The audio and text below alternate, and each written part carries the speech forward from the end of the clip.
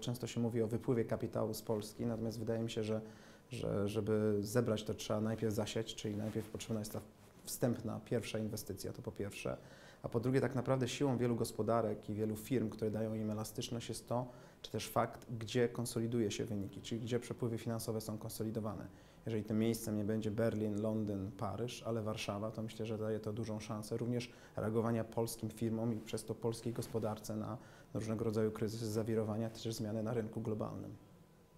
A jak Pan ocenia wsparcie e, polskiej administracji publicznej, mm, wsparcie tej ekspansji? Pan, y, ta dyskusja została otwarta, ja myślę, że ona jest bardzo potrzebna, dlatego że, że, że myślę, że Polska jest również w takim momencie, kiedy jest jednym z niewielu rynków i gospodarek, które nie zostały zbyt e, dotkliwie dotknięte przez kryzys.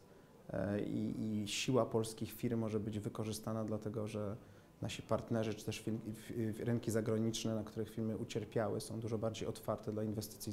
Jest to dobry moment.